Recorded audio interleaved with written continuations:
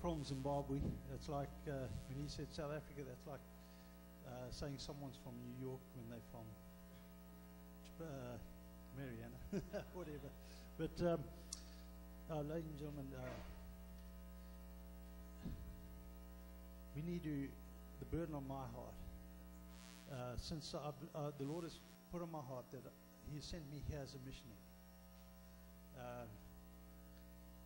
Burden is to try and get people to fear the Lord in our churches. There, there's so many people when I look at churches today, um, and in, in my church too, they do not they do not fear the Lord. They're using the church as a, as a social gathering, as a country club. They have nothing else, and so they come, they come there, and there, there's just no fear of the Lord um, in America and around the world. I used to be a farmer in Zimbabwe, uh, and you know what happened. Uh, some of you might know what happened to us farmers over there. Our land was taken, and uh, a couple, uh, 32 farm, white farmers were killed um, for not leaving their land. And um, but you know, when it all comes down to it, we had lost the fear of the Lord. During the war, we would, uh, my parents would take us to church every Sunday. We would, we would risk ambushes, landmines, uh, and just, you know, we'd, we'd, we'd, there'd be death surrounding us, and, and, but we'd go to church. Then we came back. Then, then we, the, the war stopped, and we started making money. We started living for ourselves.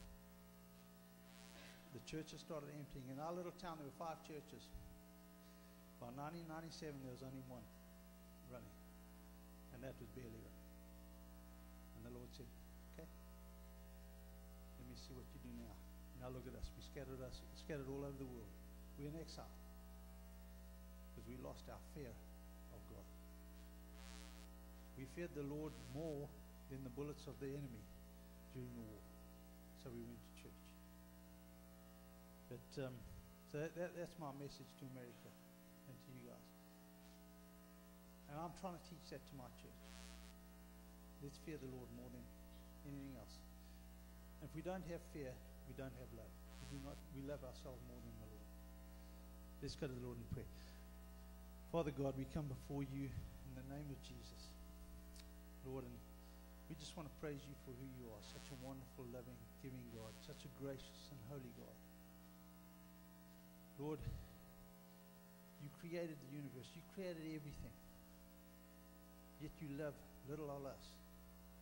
A speck on this earth. You love us so much you made us different from anyone else. Father, forgive us where we've said about life looking after our own interests. Where we're going about life thinking of our feelings and where we love ourselves more than, than we love you. Father, thank you so much that we can come here today in freedom and in peace to hear these wonderful speakers, Lord. And I pray you bless them. Bless those that, still, that, that are still to, to speak tonight. Father, speak to us through them. Lord, most of all, above everything else, Lord, I, I pray that, Father, that we would love you more than anything else.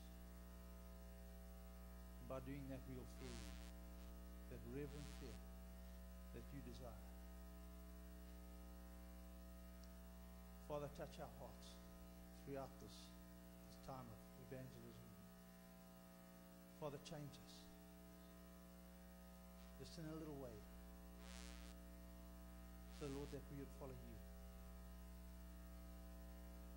Like you said to Peter, when you asked him three times, Do you love me? And then you ended up saying, Follow me. Forgive us for not doing that, Lord. And I pray from this day forward, we will follow you, no matter what, no matter where. Father, I just thank you again.